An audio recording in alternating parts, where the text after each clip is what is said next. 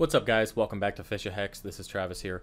Today I'm going to be doing an unboxing of this new Dremel tool that I got. Now as I mentioned in a previous video, I purchased a cordless one from Harbor Freight and when I was cutting coral the other day, it just died. The battery didn't hold up as long as I needed it to and um, it just became an issue. So with all the coral cutting I'm doing lately, it's better off uh, just getting one that's corded. So I picked this up from eBay for about $37, 38 bucks, something like that, free shipping. And uh, it is an off-brand from China, so we'll see uh, kind of how it holds up. So let's go ahead and open it up and see what we got. Grab my scissors here.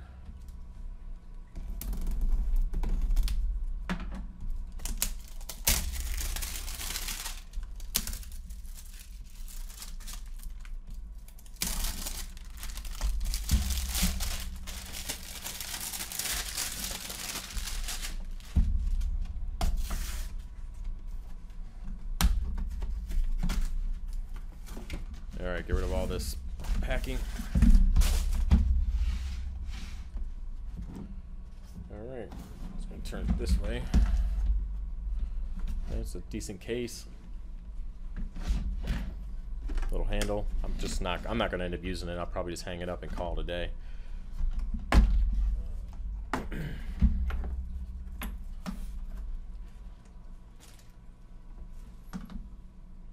All right.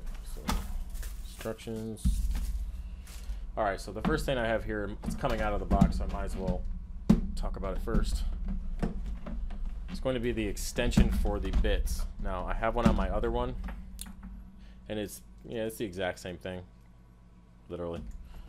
Basically, you just remove the end here, put that on, and uh, put your bit in there, and it works good. Definitely handy, so I'll set that to the side. Dremel. It's definitely got a it's definitely got a good weight to it. It weighs more than the other one. On and off. The lock and the speed adjustment, which is good. What does it go up to? Seven. All right, that's pretty cool. Now, when you're changing stuff, you hold in the lock here. Allows you to freely move it, or make it so it doesn't move freely. Sorry. That's pretty cool. Set that to the side. Now this is supposed to be the hanging kit. As I mentioned before, mine hangs on a hook. This is supposed to be a rod that you hang your Dremel from, wherever the clip is for it. And uh, it uh, holds it up so it doesn't uh, get loose on you. I probably won't use this because I already have the hook. This is the other end of that. Allows you to, you know, tighten it onto a piece of wood or a bench. It's pretty cool. And then they always come with some kind of bits or something. So let's see what this this has. Now, pretty much I can guarantee that I will use probably none of these. I'll probably just use the extension here for the bigger bit that I use. But those are useless for me. The one diamond bit. Uh, let's see what's in here.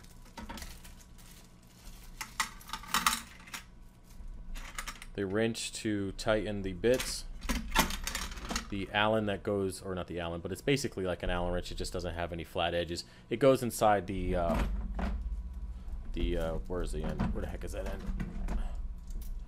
When you go to um, loosen up and tighten the bit, this just fits in there, so it doesn't spin when you use the wrench. Okay. So I'll probably use that. See what we got. These are just the sanding slash cutting bits. Sanding, drill bit, more sanding. Some other diamond bits that I won't need. Hey, but you never know. This is pretty cool. I will use this. Basically allows you to unscrew the end, put on your diamond cutting bit, screw it back on, and then put it in the machine. Uh, I will end up using that.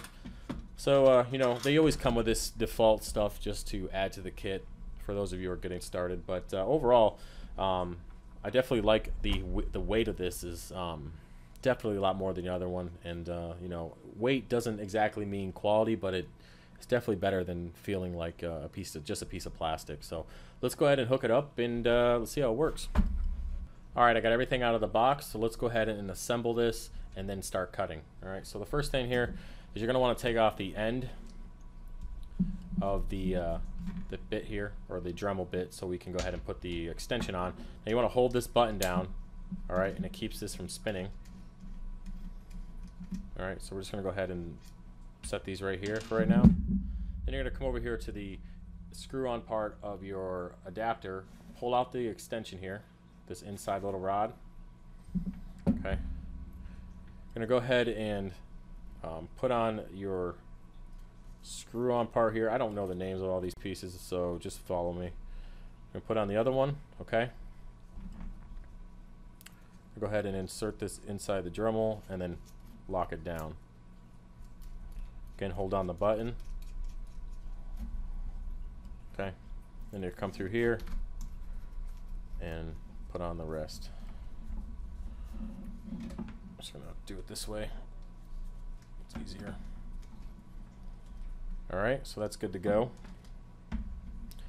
Now I did find the clip here for the end, for the back, so I'm pretty excited about that. I couldn't find it at first to hang it up. I was like, why would you send me something to hang up that I, you know, is not able to? So, but it did come with that, so it seems to be strong enough. Now let's move on to the other end here, which is the, uh, the handheld part. I'm gonna go ahead and loosen up this first by putting in your little Allen wrench key there. Okay, it keeps it from spinning. You're gonna take your screw, there we go.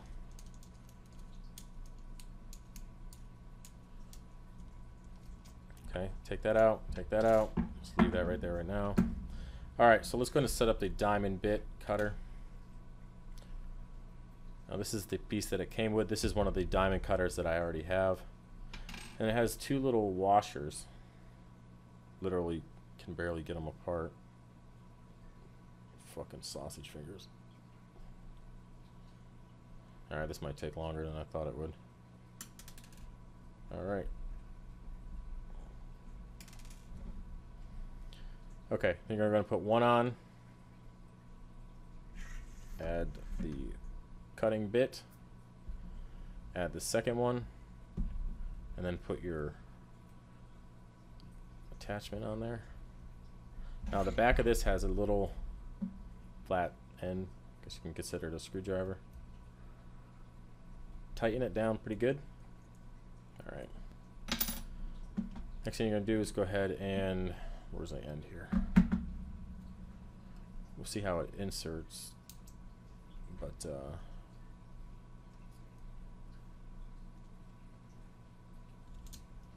all right. Make sure it's all the way in.